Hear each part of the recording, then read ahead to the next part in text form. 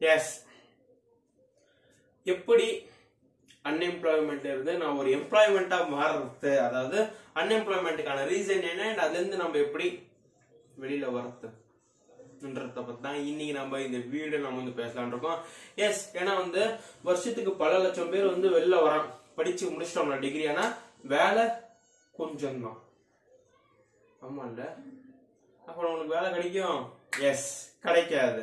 But ஆனால் அந்த ஒரு வேலை நமக்கு பிடிச்ச வேலை கிடைக்கணும்னா என்னென்னலாம் பண்ணலான்றத பற்றி தான் இன்னைக்கு நம்ம இந்த வீடியோ நம்ம வந்து பேசலான் இருக்கோம். எஸ் ஃபர்ஸ்ட் விஷயம் வந்து என்னன்னா வந்து லேக் ஆஃப் ஸ்கில்ஸ் எஸ் இது வந்து ஒரு முக்கியமான ஒரு விஷயம். உங்களுக்கு ஃபர்ஸ்ட் நான் வந்து ஸ்டார்டிங் வந்து எக்ஸாம்பிள் இருந்தே நான் வந்து ஆரம்பிச்சிடுறேன். இப்போ வந்து இப்போ நீங்கள் ஒரு இன்டர்வியூக்கு போறீங்க. வைங்களேன் பிகாம் படிச்சிருக்கீங்க.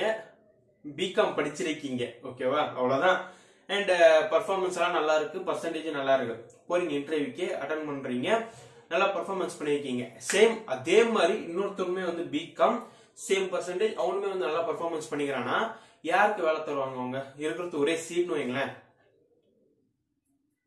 யோசனை யோசனை பண்றீங்களே? இந்த ஒரு யோசனை பண்றத கொடுக்கவே கொடுக்காதீங்க.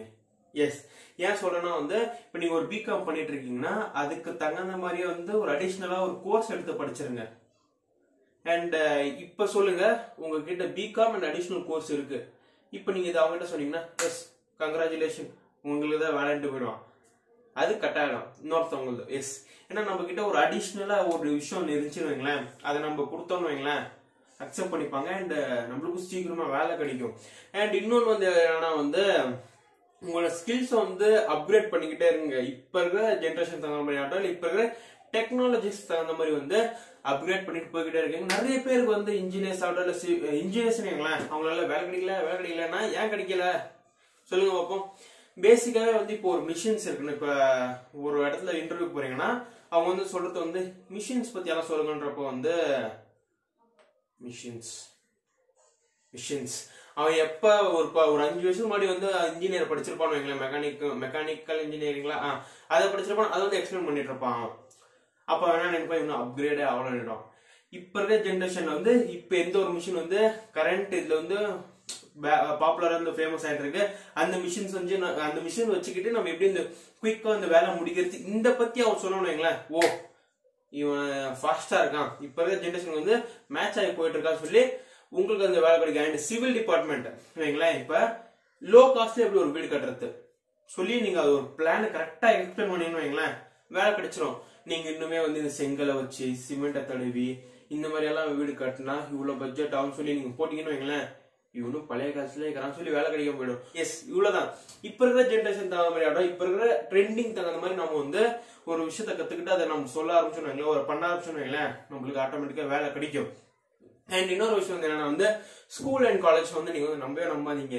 ஸ்கூல் அண்ட் காலேஜ்ல வந்து சொல்லித்தரத்தை வந்து பணத்தை எப்படி சேர்த்து வைக்கணும்?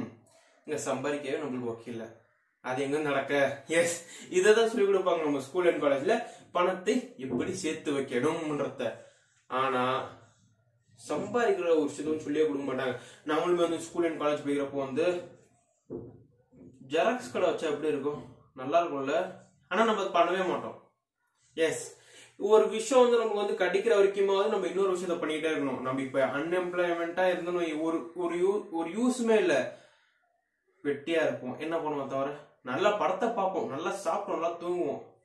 அன்எம்ப்ளாய்மெண்ட் அன்எம்ப்ளாய்மெண்டா இருக்காதீங்க. ஜஸ்ட் உங்களுக்கு என்ன தோணுதோ அது பண்ணிக்கிட்டே இருங்க. ஜெராக்ஸ் கடை வைக்கணும்னு தோணுதா வச்சிருங்க. இல்ல ஆட்டோ ஓட்டணும்னு தோணுதா ஆட்டோ ஓடுங்க அதாவது உங்களுக்கு ஒரு பிடிச்ச ஒரு வேலை கிடைக்கிற வரைக்குமே வந்து நீங்க வேற ஒரு வேலை பார்க்கறது தப்பே இல்லை. அப்ப நீங்க எம்ப்ளாய் அன்எம்ப்ளாய்மெண்ட் இல்லை. புரியுதா? ரெண்டாவது விஷயம் வந்து என்னன்னா வந்து முக்கியமான விஷயம். பாப்புலேஷன் எஸ் ஒரு ஒரு லட்சம் பேருக்கு வேலை இருக்குன்னா பல லட்சம் பேர் வெளில வரான்ற பேர் பாப்புலேஷன் தானே. வருஷா வருஷம் இவ்வளவு லட்சம் பேருக்கு வேலைன்னு சொல்லி விடுவான் ஆனா அதை விட பல மடங்கு பேர் வந்து படிச்சுட்டு வெளில வரான். எல்லாருக்குமே வந்து அந்த ஒரு வேலை கிடைக்கிறது இல்ல. அதனால உங்களுக்கு ஒரு பிடிச்ச ஒரு வேலை பண்ணுங்க. பிடிச்ச வேலை கிடைக்கிற வரைக்குமே வந்து இன்னொரு அடிஷனல் ஒரு வேலை பண்றதுல தப்பே கிடையாது. முன்ன சொன்ன மாதிரி தான் எஸ் எல்லாருக்குமே வந்து எல்லா வேலையும் கிடைக்காது. ஓகேவா அதனால எது கிடைச்சிருக்கோ அதை ஹாப்பியாக பண்ணீங்கன்னா முடிஞ்சு. ரெண்டாவது ஆப்ஷனும் முடிஞ்சு. எஸ் இன்னைக்கு இந்த வீடியோ உங்களுக்கு பிடிச்சிருந்துச்சா பிடிக்கலையான்னு சொல்லி மறக்காம கமெண்ட்ல போய் லீவ் பண்ணுங்க. உங்களுக்கு என்ன தேவையான டாபிக் பத்தி ஆகட்டும் இல்ல கண்டென்ட் பத்தி ஆகட்டும் வீடியோ நினைச்சுன்னா மறக்காம கமெண்ட்ல போய் லீவ் பண்ணுங்க. நான் அந்த வீடியோ வந்து போடுறதுக்கு நான் ட்ரை பண்றேன். இன்னைக்கு இந்த வீடியோ பிடிச்சிருந்துச்சுன்னா லைக் பண்ணிட்டு மறக்காம உங்க ஃப்ரெண்ட்ஸுக்கு ஷேர் பண்ணிட்டு நம்ம சேனல்ல இன்னும் யார் சப்ஸ்கிரைப் பண்ணாம பார்த்துட்டு இருக்கீங்களோ சப்ஸ்கிரைப் பண்ணுங்க. அப்பதான் நம்ம போட போற வீடியோஸும் நோட்டிபிகேஷன் வந்து மறக்காம சப்ஸ்கிரைப் பண்ணுங்க. அண்ட் அதுவுமே இல்லாம நம்மளோட இன்ஸ்டாகிராம் ஃபேஸ்புக் ட்விட்டர் லிங்க் வந்து கீழே டிஸ்கிரிப்ஷன் லிங்க் நம்ம மறக்காம பிஃபோர் அப்படிங்க நாளைக்கு நான் இன்னொரு வித்தியாசமான டாபிக்ல சந்திக்கிறேன். Bye guys